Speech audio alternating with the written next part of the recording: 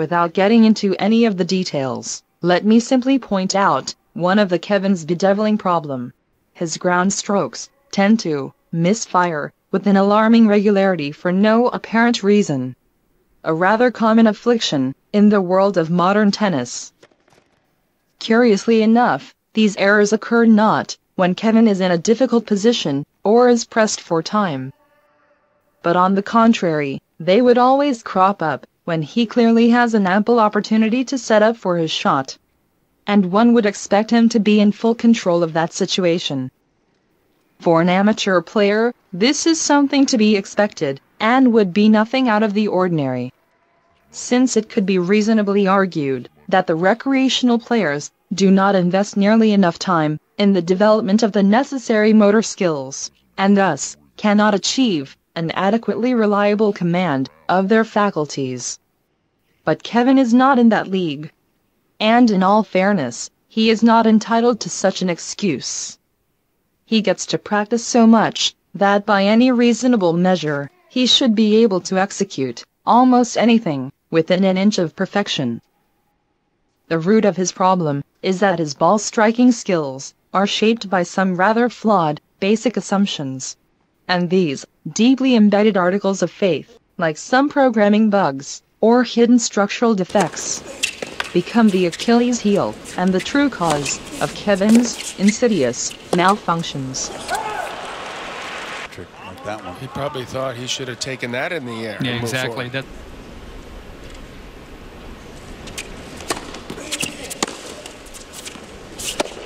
No, but goodness. That's a self break. And you have to work so hard, and it takes an hour to get down a set. He worked exceptionally hard for an hour only to lose his serve twice. He, you know, maybe get this crowd behind him a bit. He wants to see a longer match.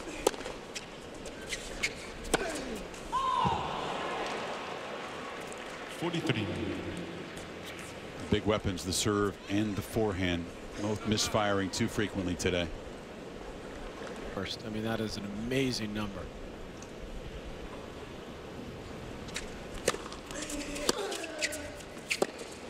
That's bad footwork there from Anderson.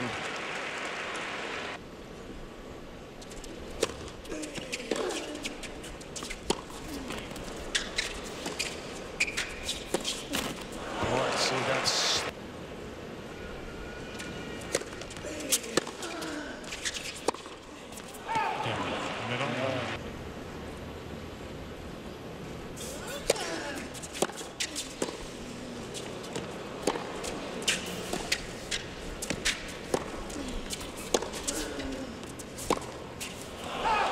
Middle. Down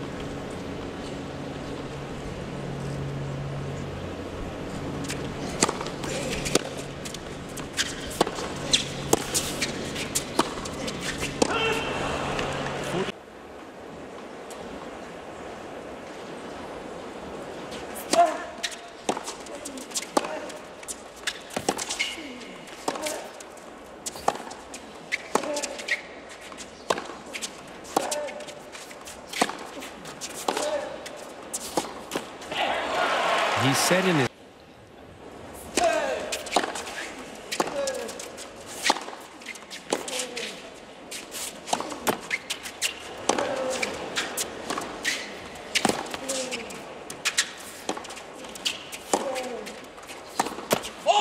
Excellent defending.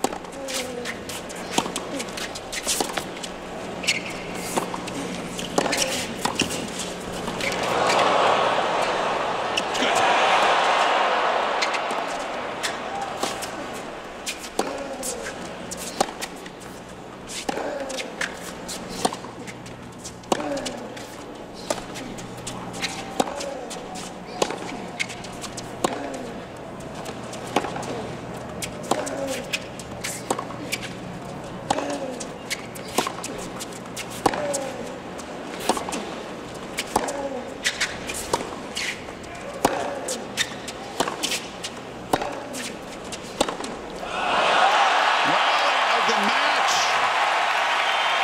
to begin the biggest game in Anderson's life.